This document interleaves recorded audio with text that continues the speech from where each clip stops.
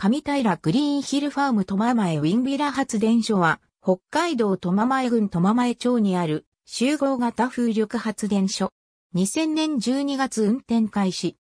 電源開発において最初に手掛けた大規模風力発電事業であり、風を有効活用して地域の活性化を図る取り組みを行っている苫前町の町営牧場にある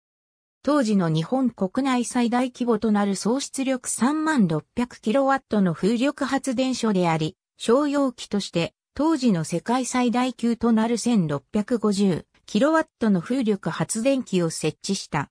一般家庭約1万7000世帯分の電力を発電している。第5回新エネ大賞資源エネルギー庁長官賞を受賞している。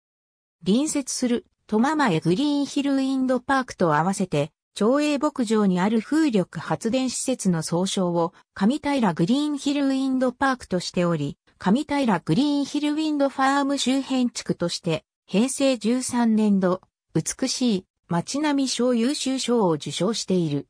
周辺区域では新苫前ウィンビラ発電所を計画している。風車はベスタスによる 1650kW 風車14機とエネルコンによる 1500kW 風車5機を設置している。ありがとうございます。